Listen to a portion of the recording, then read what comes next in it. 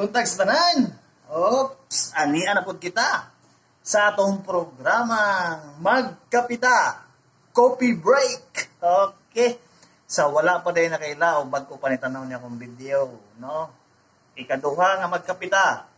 Ah, palihog ko like, subscribe, and kung pwede, i-share.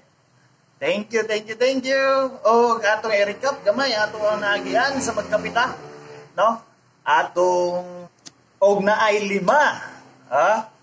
Ang una mao og ikaduha kaduha katulo upat og lima. So karon atong pagahisgutan na pod ang variety sa kape dinhi mismo sa atong lugar sa Pilipinas. Okay? Hello, magpadayon ta, no? Nagilis lang kay Igang ito kay uniform ganina, no? Ang atong isgutan mo ang upat ka klase o variety sa kape diri sa atua sa nasod Pilipinas. Ah, so ang pangutana kano sa ba introduce ang kape diri sa Pilipinas? Kinsa nag-introduce, no? Kinsa po nag kuha na ni sa tuwa nga naabot ni. Ah, sa, sa tuig nga 1740, ah, kuha siya, ah, i-introduce sa diri sa tuwa sa mga Espanyol. No? Dayon, dito ni nagsumikad una sa Batangas, no? Lipa, Batangas. Mo kaya lang ginatawag na sila karon nga uh, mga barako. No? Kay tungod sa ilahan, kaisog sa ilang kape. Diba? So, ang Pilipinas po ang usa nga uh, export karon ikaupat nga export karon sa kape worldwide. Okay? So, ang atong pagisgutan, uh, variety sa kape sa Pilipinas, no?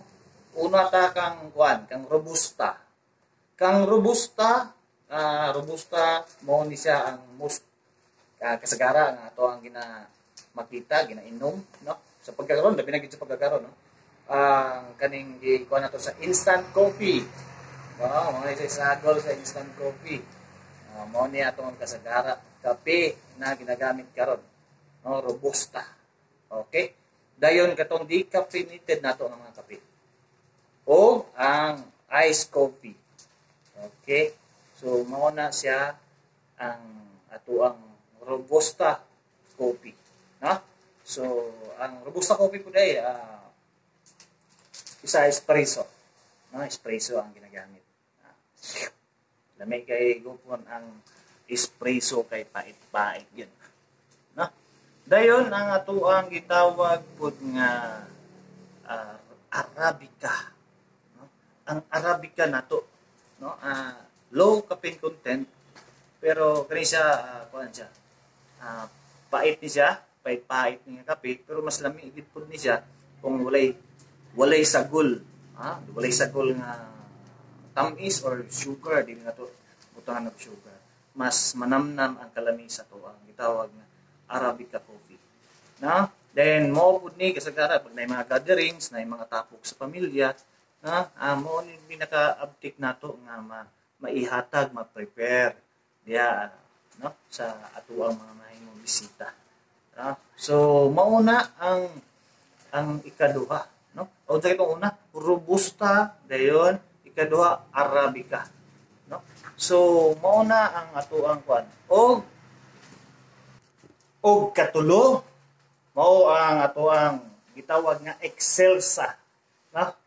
Ang Excel sa uh, mo nilang gaignon nga daw sama sa uh, humot or ang iyang ang iyang aroma mo mao mao kuan langka o jackfruit no? Uh, mo ni siya. Then ang Excel sa mostly uh, blending coffee na? Dayon ang ato ang gitawag nga Braco coffee nato okay? Uh, known as Braco no? Uh, Liberica no only in the Philippines no Liberica Braco coffee nga ang produce ni ini o ang kuan kita ni isang Batangas o part of Cavite. No? ah mo ni siya ang pinaka kuandre sa tuwa sa Pilipinas. O ginakonsume lang ginato mo ni ang kasagara ah, mo ni ang ginakonsume ginato din sa Pilipinas. Ang kaning gitawag nga Barako coffee. Na dayon mo ni ang pinaka o baga isog kay nga kape. No? Pait kay nga kape. Aha makita. Atong Batangas kay gitawag sila Na? So mao na ang una robusta. Kaduha arabica dayon excelsa o liberica. O gitawag na itong Barako coffee. Na? So mao na ang upat o diha lang sa takotob o ang sunod. Na? Ah ato na pong pagka hatagan o lain na pod na punto ang atong magkapita. No? Coffee break just coffee